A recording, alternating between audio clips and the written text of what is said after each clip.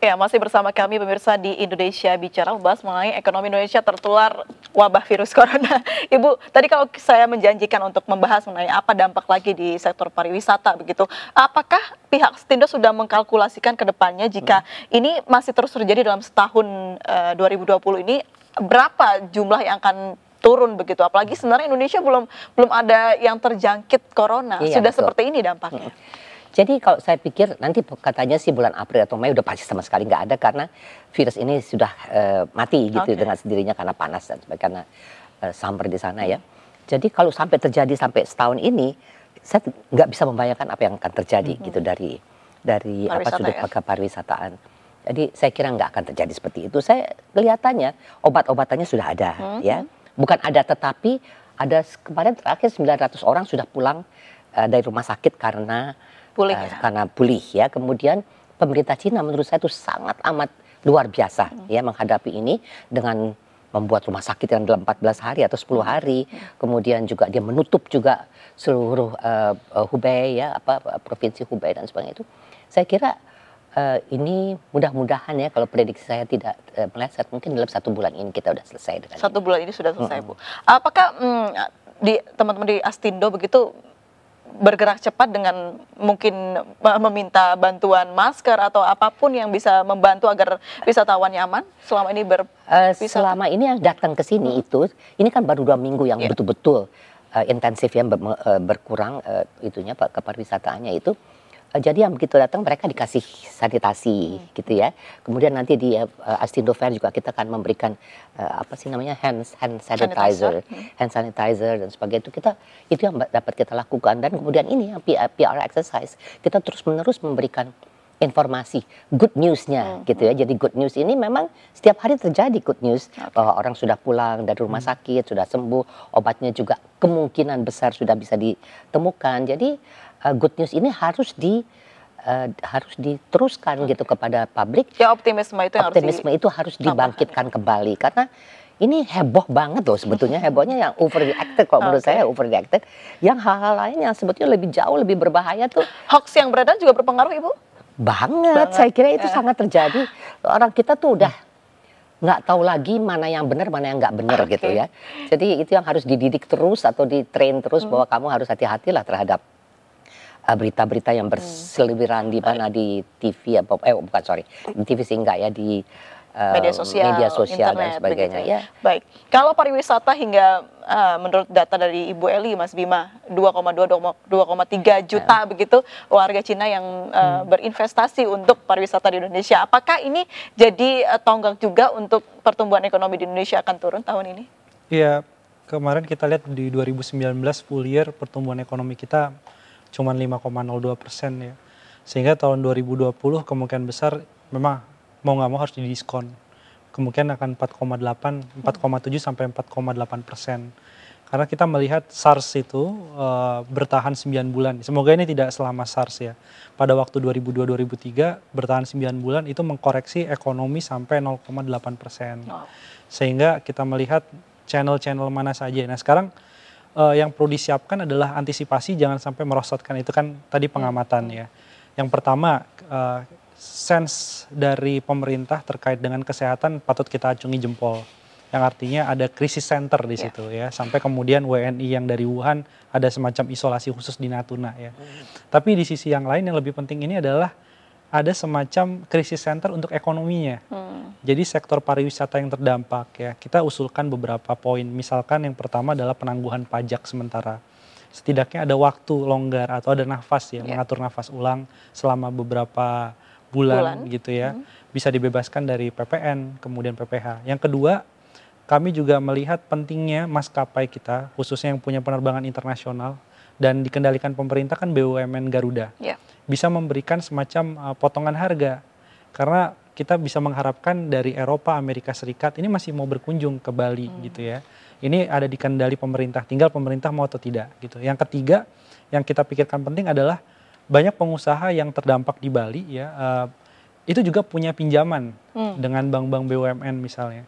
Jadi bisa nggak ada skenario semacam penangguhan pembayaran cicilan pokok dan bunga sementara waktu, katakanlah sampai krisisnya reda. Hal-hal itu untuk memancing ya Mas Bima? Iya, sehingga ada ada stimulus karena pemerintah Cina luar biasa ya. Uh, dia mengeluarkan kalau tidak salah 174 miliar ke dalam sistem perekonomiannya menyuntik likuiditas sehingga banyak pengusaha itu bisa cepat recovery dan kemudian memangkas suku bunga acuan. Itu yang dilakukan di Cina. Nah, kita belum melihat dari sisi ekonomi tadi, ya. keluhan sudah banyak, tapi paket kebijakan di Indonesia khusus untuk belum pariwisata ada. ya, hmm. ini belum belum ada. Hmm, apa yang menyebabkan pemerintah seakan-akan masih hold on gitu? Kenapa tidak segera memberikan kebijakan seperti yang Cina lakukan? Ya, karena yang pertama saya bisa pahami ya hmm. dari sisi kebijakan perpajakan tahun 2019 pencapaiannya relatif rendah. Hmm. Jadi kalau terlalu banyak memberikan insentif, hmm. khawatir nanti rasio pajak kita makin turun, kira-kira hmm. makin kecil. Hmm. Jadi ini yang jadi pertimbangan, APBN diselamatkan atau pariwisata okay. yang diselamatkan.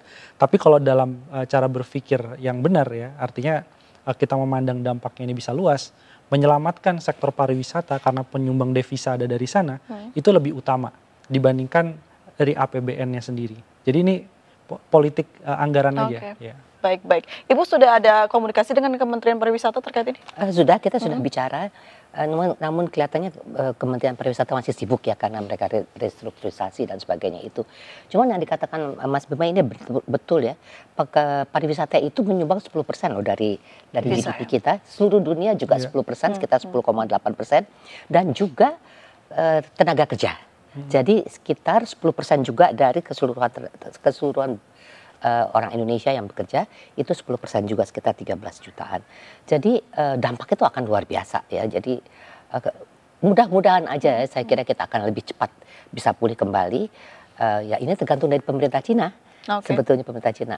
Namun selain daripada itu, hmm. mungkin yang dapat kita lakukan adalah juga me, uh, lebih memberikan hmm. stimulus kepada yang domestic okay. travel ya domestic hmm. travel itu saya ingat pada tahun hmm. 2003 di mana ada bom Bali kemudian yeah. ada SARS itu itu domestic travel atau hmm. yang antara Indonesia aja yang sangat membantu perekonomian Indonesia dan juga eh, orang-orang yang bekerja di sektor kepariwisataan waktu itu yang nganggur itu banyak sekali tapi kemudian pada saat itu saya kebetulan ikut juga membuat suatu semacam kayak travel fair yang hanya untuk domestik saja. Okay. Jadi hmm. domestic hmm. travel yang dikatakan katakan Mas Bima itu adalah juga bahwa kita harus minta kepada Garuda atau hmm. national carrier atau pokoknya perusahaan-perusahaan penerbangan untuk mengurangi harga. Hmm.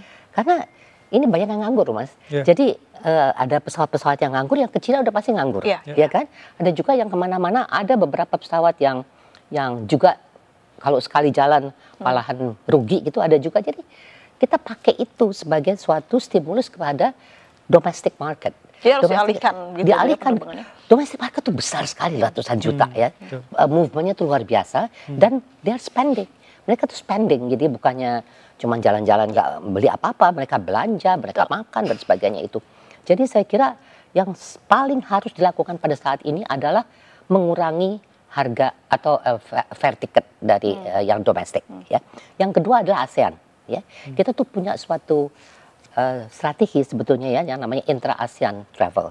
Intra ASEAN itu kan nggak kena lah boleh dikatakan ya. hampir tidak kena uh, virus ini dan juga itu so easy tiga hari bisa ke mana tiga ya. hari bisa ke mana dan hmm. itu juga suatu hal yang harus di dipikirkan antara negara-negara ASEAN ini bikin misalnya seperti ASEAN Fair okay. ya jadi misalnya dengan harga 200 dolar kamu hmm. bisa pergi ke okay. hmm. dari Medan sampai ke Filipina okay. atau ke mana dan sebagainya itu dua atau tiga. Jadi itu yang harus dilakukan secepat mungkin hmm. gitu. Hmm. Nah kita di ASEAN, saya juga kebetulan dari ASEAN hmm. Travel Association. Sudah ada kita, omongan itu Bu? Udah, hmm. udah ada bicara pembicaraan seperti itu karena memang itu penyelamat. Hmm. Sebenarnya kita tuh ada 10 negara ASEAN, ada 500 million people yang tinggal di negara negara 10 negara ini gitu ya. Kalau ini aja mundar mandir mundar mandir 10 persennya tuh udah udah lumayan ter ter ini kan tidak bukan, menutupi uh, ya mungkin kehilangan tidak, ya, penerbangan ya, yang Cina itu ya, ya, ya mungkin tidak ya tetapi akan sekali mengurangi sekali hmm. ya kemudian bukan hanya kita kan negara-negara Singapura Malaysia dan semua negara-negara ASEAN juga sangat amat menderita hmm. ya gara-gara yang Cina ini karena Cina tuh kuat sekali okay. uh, eh, perjalanannya ke luar negeri baik uh, Mas Bima kalau anda amati atau mendengar penjelasan dari uh, Bu Eli tadi uh, apa yang bisa di mungkin dikopi atau dicontoh dari dari Cina pemerintah Cina uh, oleh pemerintah Indonesia Indonesia untuk kebijakannya? Ya, yang pertama tadi ya mengendalikan informasi-informasi uh, yang hmm. hoax ya atau informasi yang membuat orang resah gitu ya. hmm. ya. daerah mana yang kena, informasi apa itu kan sebenarnya sudah secara gamblang diberitakan oleh pemerintah. Jadi kalau ada informasi-informasi yang di luar dari sumber yang resmi, ya pemerintah harus melakukan counter opinion di situ ya atau klarifikasi. Jadi tidak resah ya.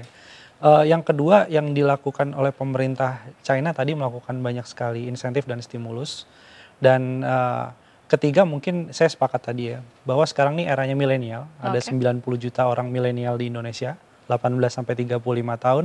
Ini mereka rela berhemat makan sehari-hari asalkan bisa traveling. Hmm. Nah, kita harus membalik kondisi ini di mana justru uh, tidak banyak WNA atau tidak banyak wisman di Bali. Ini kesempatan bagus buat anak muda justru traveling murah, meriah okay. di sana. Itu itu yang harus dilakukan. Tapi kan sekali lagi terganjal oleh harga tiket pesawat yang memang yeah. masih belum ramah ke milenial. Hmm. Nah, jadi ini yang, yang harus diatasi oleh pemerintah karena ini yang ada dalam kendali gitu ya. Tinggal nanti travel fair ya promosi-promosi wisata itu yang harus dilakukan. Jadi segala sektor harus bersinergi ya untuk membantu uh, terciptanya uh, wisatawan domestik untuk bisa lebih uh, menutupi lah paling tidak membantu mengurangi adanya hmm. uh, ya ya kehilangan wisatawan dari kehilangan pendapatan ya di hotel-hotel itu. Kemudian juga kita tuh udah lama sekali ya berunding mengenai hmm. yang namanya harga tiket naik terus dan sebagainya itu tapi sampai sekarang kayaknya belum begitu belum begitu berhasil. Mungkin dengan administrasi atau uh, manajemen yang baru ini bisa kita dapatkan harga yang lebih baik. Jadi ini yang harus betul-betul di di digalakan okay. gitu ya. Uh, banyak sekali kan kita selama ini yang tadinya besar sekali domestic uh, travel tourism ya bukannya bukan bisnis ya itu berkurang gara-gara harga tiket hmm. yang mahal hmm. gitu ya dan saya juga mengerti dari sudut Garuda karena baru pertama kali Garuda tuh uh, untung mas. Hmm. Dari berapa tahun ini. Itu pun dikoreksi lalu, jadi rugi lagi. Eh? Itu pun dikoreksi jadi rugi lagi. Enggak kok, ini yang yang oh, iya. untung beneran kok. Yeah. Jadi untung beneran karena saya juga mengerti bahwa yang selama ini nggak pernah untung tiba-tiba untung ya karena harga tiket itu Y class yang kita kan hmm. yang kita kan Y class itu adalah yang paling tinggi harga yang paling tinggi.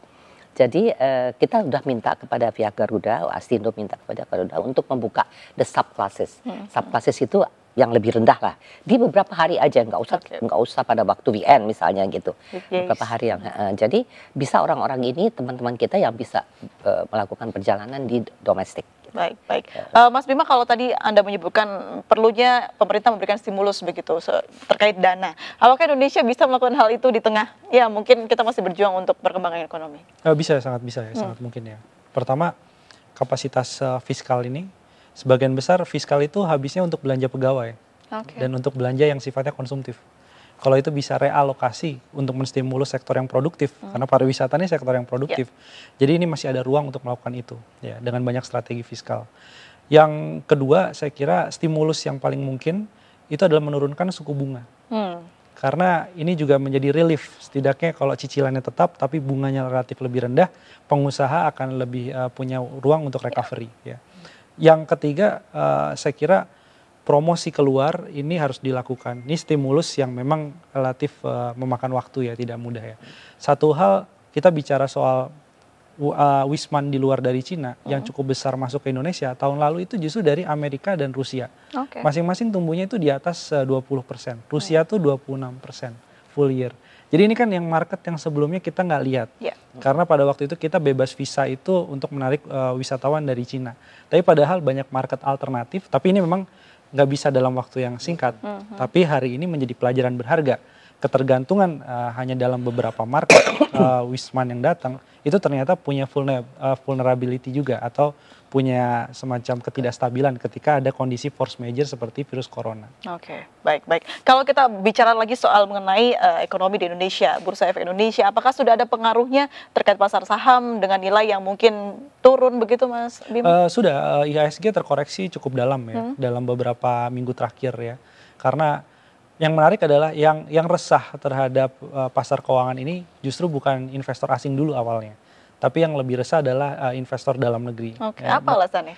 Uh, mereka melihat hubungan Indonesia dengan Cina ini makin akrab, okay. tapi ternyata punya resiko yang cukup besar hmm. karena efeknya sangat cepat ya. Sehingga investor-investor ini lebih misalkan menemukan uangnya uh, memberikan uang misalkan ke deposito okay. atau ke emas ya atau ke surat utang. Jadi, Jadi menyelamatkan betul, dananya begitu betul ya. ya. Baru kemudian disusul oleh para investor asing yang hmm. memang lebih hati-hati ya. Sekarang sekarang ini kan uh, kondisi seperti yang Bu Sri Mulyani bilang ini kan berubah dari yang awalnya 2020 harusnya ada sedikit relief optimisme. Yeah, yeah. karena perdagangan mulai membaik antara Amerika dengan Cina. Eh tiba-tiba tidak ada satupun ekonom yang bisa memprediksi coronavirus ini dampaknya cukup besar begitu. Baik, tapi ini menarik. Apakah ini juga ada pengaruhnya mengenai politik begitu, Mas Bima? Iya, saya kira jelas ini momentum sangat bagus ya eh, bagi Amerika Serikat khususnya yang sedang berkonflik ya dengan Cina. Intinya negara-negara yang sedang tidak happy melihat perkembangan Cina yang cukup pesat. Sehingga uh, muncullah kemudian momentum yang mungkin mereka juga tidak persiapkan sebelumnya ya. Tapi momentum ini digunakan dengan sangat baik hmm. sehingga Cina sekarang merasa terisolasi khususnya dari barat, bukan dari Asia dulu, tapi dari barat. Nah, ini ada pemain intelektual-intelektual di belakangnya yang membuat tadi overreact.